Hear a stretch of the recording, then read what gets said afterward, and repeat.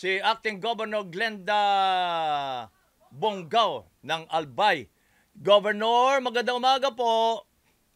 Magandang umaga po kabayan at sa lahat ng mga nakikinig sa atin ngayon. Ay si Bishop po ay nakausap namin kahapon. At uh, yun nga, ang panawagan ng Diocese of Legazpi, eh yun daw hong uncontrolled, wala ng control na quarrying operation dyan po sa Albay. Ay ano ba hong magagawa natin bilang uh, uh, governor? Uh, alam mo po, kabayan, pang uh, mga more than one month pa lang po akong umuupo ngayon as acting uh, governor. Pero nagpapasalamat po ako na merong ganitong appeal uh, si Bishop Joel Bailon dahil matutulungan niya po ako sa mga desisyon na pwede kong gawin uh, when it comes to uh, quarry operations dito po sa Albay.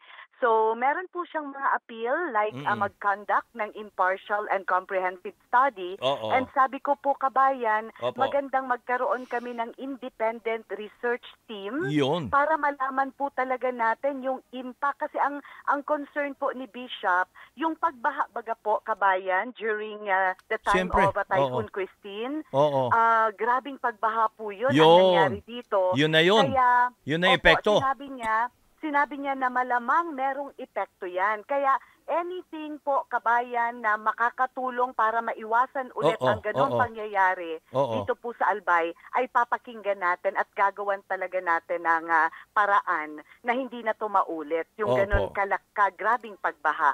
Opo, pero ang ang importante ho dito ay mahintunay ang ah, walang control na quarrying diyan sa lugar nyo. yan. Opo. Yes, tama po yan. Kaya ngayon po ay ah, nandun po tayo sa pag-establish ng isang competent na Provincial Mining Regulatory Board.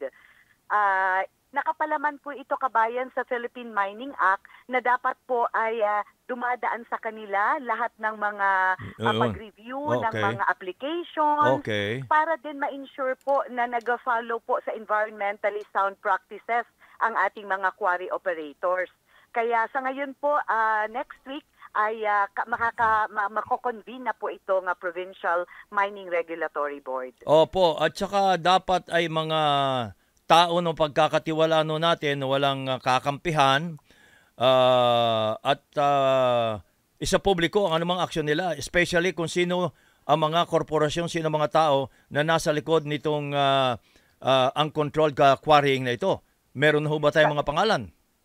Ah, wala pa naman ang Wala mga pa. pangalan pero ang nakikita ko lang po kabayan, Opo. ang pinaka-importante po yung revenue na nakukuha namin dapat sa quarry ay ah, talagang dapat mataas. Kasi nga because of itong ah, operation na to, malaking tulong po ang revenue. Supposed to be po, meron kami dapat ngayon na 150 million Mm. na supposed to be estimated na papasok po mula sa sa quarry operation, sa mga taxes, sa mga binabayad nila.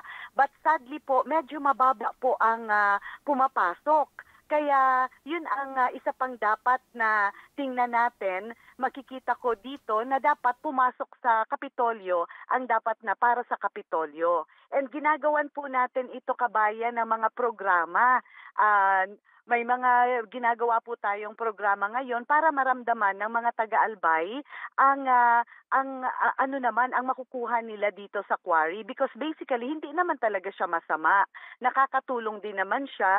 Ah, yun nga lang dapat ma-minimize ang Diba, impact. con- control nga ho. Kasi sinasabi ni Yes, Bishop, uncontrolled. So ang maganda ay Correct. controlled. Maganda siguro kung mga ilog ang uhukayan mo. Yon, lalalim pa Tama. yon. O, pero Tama, kung kabundukan na ang iyong ah, gigibain, eh mukhang ah, hindi nakatanggap-tanggap katulad ng mga larawang pinakikita ho namin na bundok na, unti-unti na, wala na yung mga puno. Puro lupa na lamang. At delikado ho yan sa ating mga kababayan. Baka ah, wag naman mangyari na may susunod na namang malakas na bagyo at ah, ah, puro ulan. Eh, babahayin ko kayo. Nag, nag, nagdeklara nga kayo ng state of calamity. Di po ba? That's right. Opo. Opo, opo. Kaya dapat po siguro effective regulation ng quarry operation. Yun. Ah, and then elimination ng mga illegal quarrying activities. Yun. Dapat mabantayan po 'yan. Yung illegal. Ayan. So, Oo. mm-mm. Mm-mm. marami ho bang illegal na, alam mo na, yung mga kababayan natin dyan, na kuha ng ah, kung ilang ah, tunelada ng eh, ng mga yung mga kinukuha diyan, binebenta rin sa mga quarry operators, mga ganyan ano, uncontrolled Ma- 'yun. ma- mak- tama po Mm. yan, kabayan. And makikita mo yan sa pumapasok na, na revenue mula sa quarry, sa Kapitolyo. Kung Oh. mababa po, ibig sabihin, marami ang illegal. 'Yun. So yun ang kailangan natin, natin Correct. gawin ng ah, paraan Oo. kasi meron sana kaming mga programang gustong gawin na mula po sa nakukuhang taxes from quarry. Dapat. Kagaya po ng ano, halimbawa ah, graba para sa eskwela, Oh. isa pong ah, educational assistance program oh. o kaya basud para sa salud. Isa naman tong health uh, a health uh, program, yung mga assistance na binibigay natin sa nangangailangan ng medical uh, na ano and isa pa po ay uh, uh, baybay para sa pagkabuhay or isang livelihood uh, program para sa mga nangangailangan din dito sa Albay. With these programs, mararamdaman nila na ah, kasali naman pala sila dito sa mga dito sa ano nakukuha natin sa quarry. Oo. So yan po, do- doon po Opo. tayo papunta kabayan. Basta ang importante po ay controlled, maayos, hindi yung ah, patsi-patsi ang pagkuha natin dahil walang mangyayari diyan, masisira kaagad ang ah, ah, mga daluin ng tubig natin. So kailan ho bab- bubuin itong ah, competent, yung word ninyo, competent yung- provincial mining oo. regulatory board. Kailan? Correct. Next week po, Next week. December 2, ah, meron po kaming ah, meeting now with Okay. ah, itong board Okay. and then with all Ah, buo the na ba yung board? operators. Buo na? Ano po? Buo na po yung regulatory board na yun, di pa? Yes po, buo Ah, buo na, po na. siya. May mga- yung ah. mga uupo na lang from ah, the small Ah, scale okay. mining representative, yun na lang po ang ah, ipipiliin namin. But nandun po ako at meron po tayo mga NGOs, ah, siguro ah, isa from may simbahan na pwedeng ah, maging representative course, oo. para makita po talaga natin na ito yung ginagawa ng r- competent na regulatory board na po ito. Opo, may check and balance. Kaya kailangan ng ah, Legazpi Diocese dito ah, para kasama ko sila dito. Abangan ho namin yan kung sino magiging ah, komposisyon ng ah, Natural Yes. Board. Ano po? Opo, opo. Ma- Nagpapasalamat po ako ah, actually kay Bishop Joel Bailon dahil oo. mas napapadali po yung ah, trabaho natin pagdating po dito sa issue na to. Tama. Mas ma- meron po akong guide na Oo, kailangan tama. sundin. Okay. Governor, maraming maraming salamat po at magandang umaga. Maraming salamat kabayan, mabuhay ka po. Buhay din po kayo si Acting Governor Glenda Bungaw ng Albay. Tumayan!